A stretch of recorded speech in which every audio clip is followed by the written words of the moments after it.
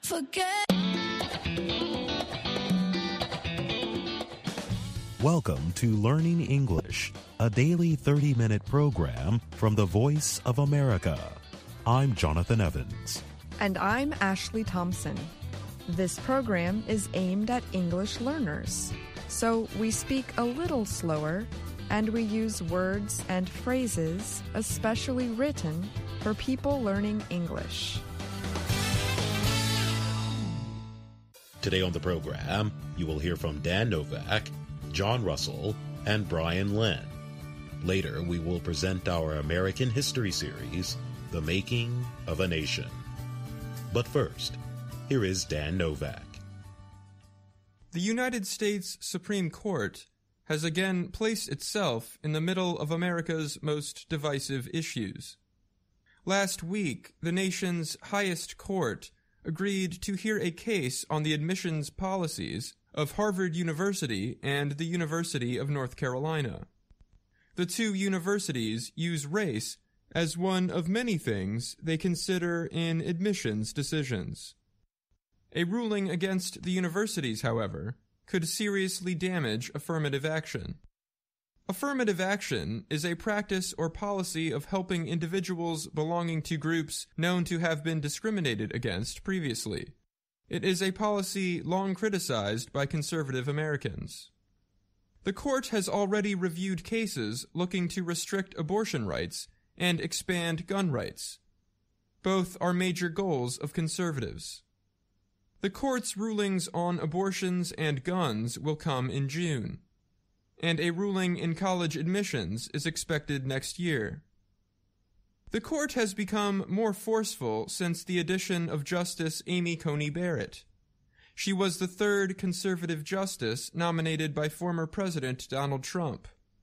Barrett's seat gave the nation's highest court a 6 3 conservative majority and changed its balance of power. This particular six justice majority seems willing to push ahead in an aggressively conservative direction on multiple fronts, said Elizabeth Wydra. She is president of the liberal group Constitutional Accountability Center. She added that the majority is ignoring the ideas of judicial restraint and stare decisis. Judicial restraint leaves policy-making decisions to the executive and legislative branches of government and stare decisis is the legal belief of respecting past court rulings. Observers say that based on oral arguments from a case brought by the state of Mississippi last year, the court's conservatives seem prepared to weaken or even overturn the 1973 Roe v. Wade decision. The Roe v. Wade ruling effectively legalized abortion in the U.S the court also appeared ready to rule against a New York state law that limits the right to carry guns in public. Others say the court's willingness to hear these cases is a sign of how the conservative majority is moving the court to the political right. Four justices are needed for the Supreme Court to hear a case, and it has at least that many who are not worried about being seen as politically motivated, said Joshua Wilson. He is a professor at the University of Denver and is an expert on conservative law and politics. Given the political appearance of the kinds of cases they hear, it's all the more remarkable, given that they have to know how much the public is paying attention, Wilson said. The High Court's conservative majority has been critical of the power of federal agencies. The action could be described by conservatives as a war on the administrative state. The court, for example, this month blocked the Biden administration's COVID 19 vaccination or testing requirement for companies with at least 100 workers. The justices also heard two cases challenging environmental laws aimed at reducing air and water pollution. They did so even though Biden's administration asked them to wait while agencies write new rules. Ian Fein is a lawyer with the Natural Resources Defense Council Environmental Group. He said the court was incredibly aggressive in taking up the two cases. The court also seems to support religious rights. It has ruled in favor of religious groups challenging COVID 19 restrictions. And last week, the court heard a case from Maine that could expand public funding of religious groups. I'm Dan Novak.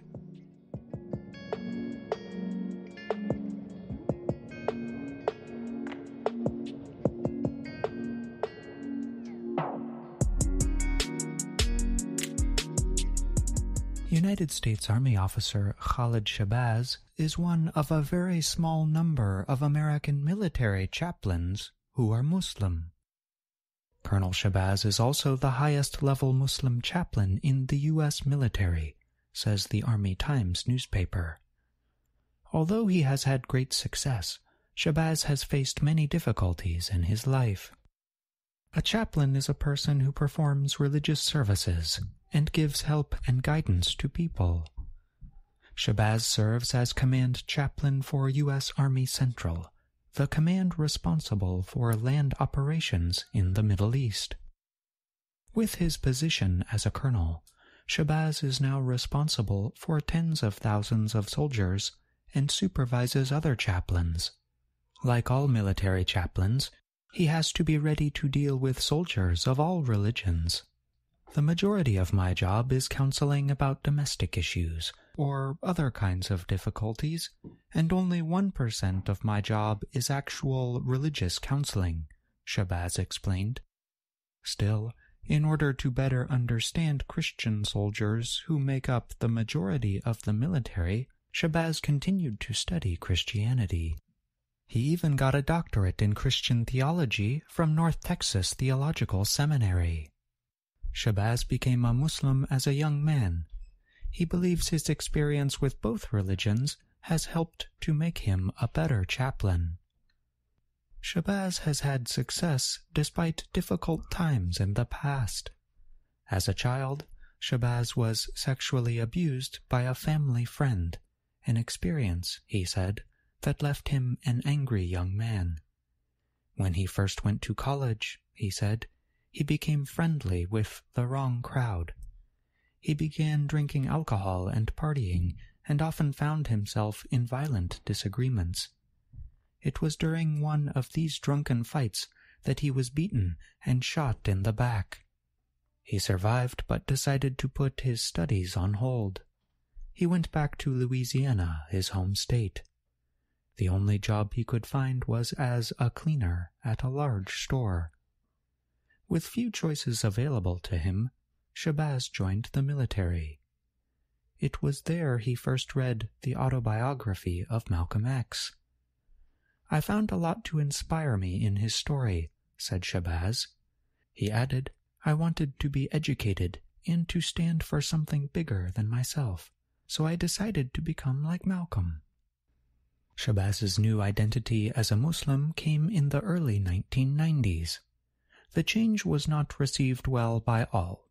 He faced discrimination from other soldiers and the displeasure of his Christian family. He was ready to quit the military. Then he met with an army chaplain. The officer persuaded Shabazz not only to stay in the army, but to become a chaplain himself. Shabazz became a chaplain in 1998, having studied Arabic in Jordan along the way. He also earned two master's degrees at universities in Connecticut and California. Shabazz says there are five Muslim chaplains in the Army, three in the Air Force, and one in the Navy. Shabazz added there is more work to be done. Unlike other faiths, Shabazz said, he has not met any Muslim chaplain assistants, officers who help chaplains in their work. But, he said, it's easier today to be a Muslim soldier in the army than when I began. I'm John Russell.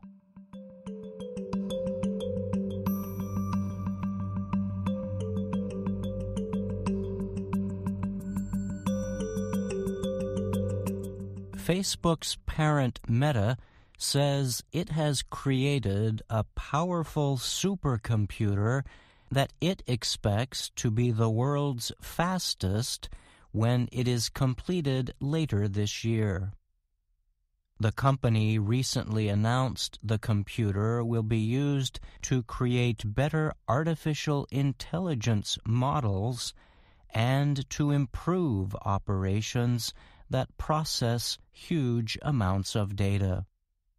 Supercomputers are made up of hundreds or thousands of powerful machines. They work together to perform complex operations that are not possible with normal computing systems. Meta's supercomputer is currently operating. The company calls it the AI Research Supercluster, or RSC.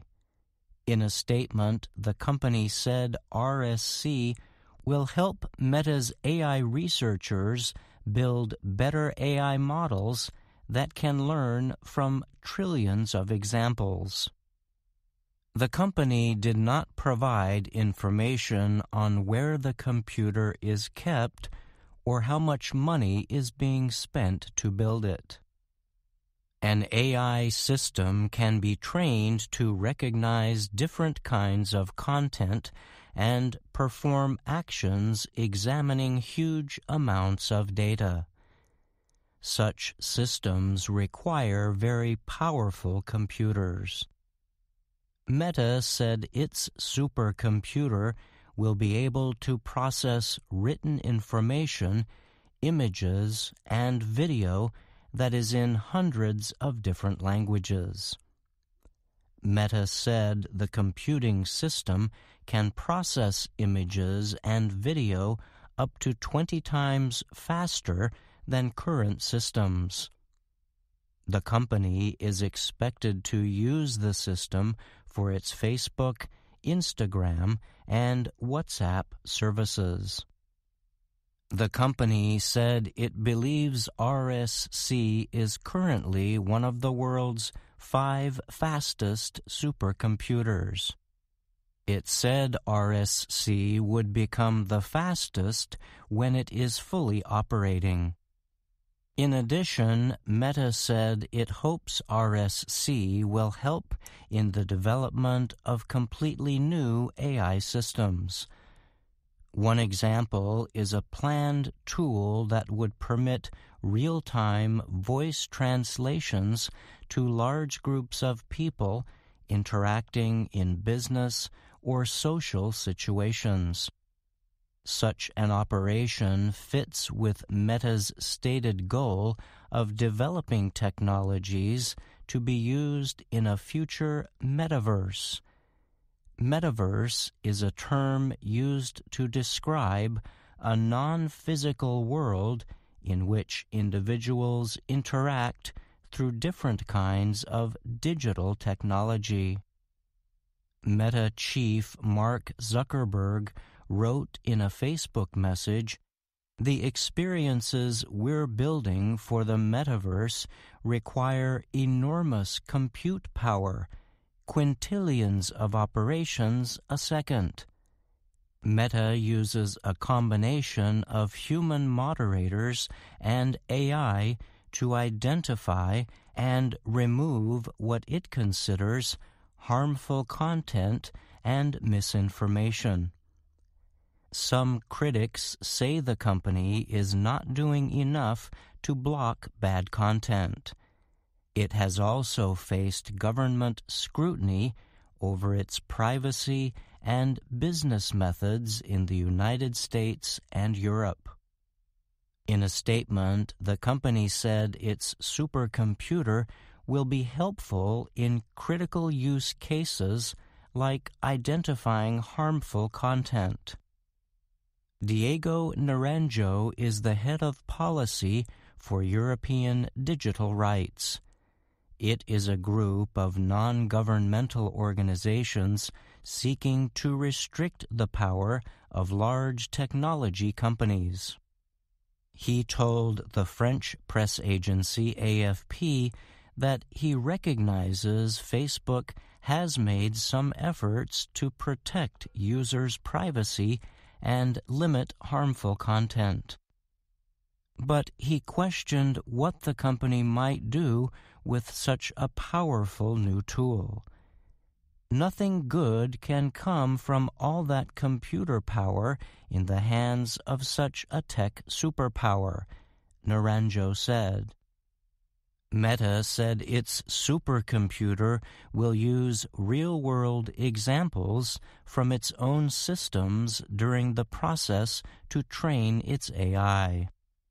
They are going to, for the first time, put their customer data on their AI research computer, said Tuomas Sandholm, he is a computer science professor and co-director of the AI Center at Carnegie Mellon University in Pittsburgh. Sandholm said it marked a really big change for Facebook to give its AI researchers and computing systems access to all that data. Meta said the data used to train AI models will go through a privacy review process to ensure that it is not linked to individual users. It added that the data will also be encrypted before entering the training process. I'm Bryan Lynn.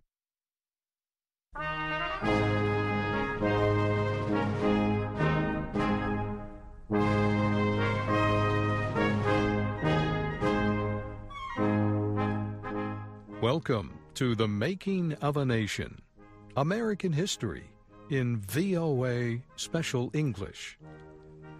After the end of World War I, President Woodrow Wilson sought national support for his idea of a League of Nations. He took his appeal directly to the American people in the summer of 1919. Tony Riggs and Frank Oliver continue the story of Wilson's campaign.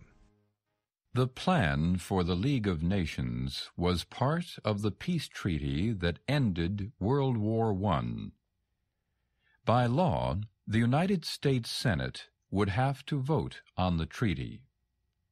President Wilson believed the Senate would have to approve it if the American people demanded it. So he went to the people for support. For almost a month, Wilson traveled across America. He stopped in many places to speak about the need for the League of Nations.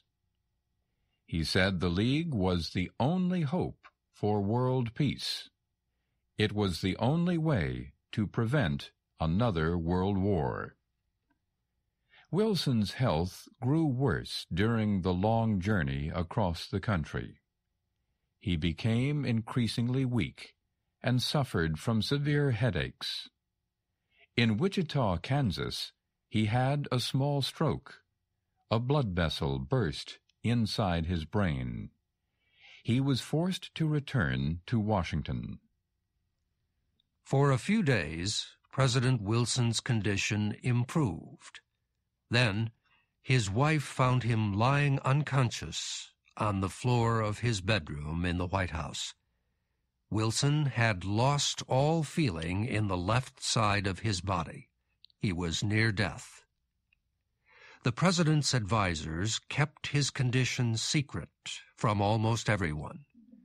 They told reporters only that Wilson was suffering from a nervous breakdown.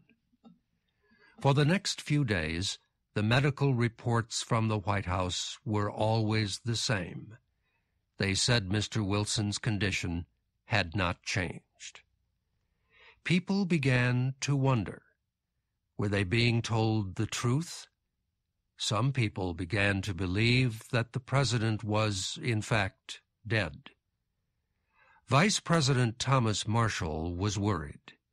If the president died or could not govern, then he, Marshall, would become president.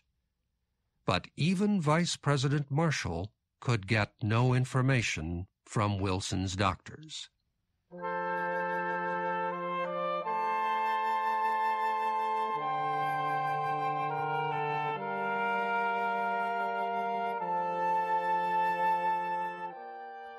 After several weeks, the president seemed to get a little stronger. He was still very weak. He could not work except to sign several bills. This simple act took most of his strength. Wilson's wife, Edith, guarded her husband closely. She alone decided who could see him. She alone decided what information he could receive. All letters and messages to Woodrow Wilson were given first to Edith Wilson. She decided if they were important enough for him to see. Most, she decided, were not. She also prevented members of the cabinet and other government officials from communicating with him directly. Mrs. Wilson's actions made many people suspect that she, not her husband, was governing the country. Some spoke of her as the nation's first woman president. There was one issue Mrs. Wilson did discuss with her husband the League of Nations. The Senate was completing debate on the Treaty of Versailles. That was the World War I peace agreement that contained Wilson's plan for the League. It seemed clear the Senate would reject the treaty. Too many senators feared the United States would lose some of its independence and freedom if it joined the League. The leader of Wilson's political party in the Senate, Gilbert Hitchcock, headed the administration campaign to win support for the treaty. He received Mrs. Wilson's permission to visit her husband. Hitchcock told the president the situation was hopeless. He said the Senate would not approve the treaty unless several changes were made to protect American independence. If the president accepted the changes, then the treaty might pass. Wilson refused. He would accept no compromise. He said the treaty must be approved as written. Senator Hitchcock made one more attempt to get Wilson to reconsider. On the day the Senate planned to vote on the treaty, he went back to the White House. He told Mrs. Wilson that compromise offered the only hope for success. Mrs. Wilson went into the President's room while Hitchcock waited. She asked her husband, Will you not accept the changes and get this thing settled? He answered, I cannot. Better a thousand times to go down fighting than to surrender to dishonorable compromise.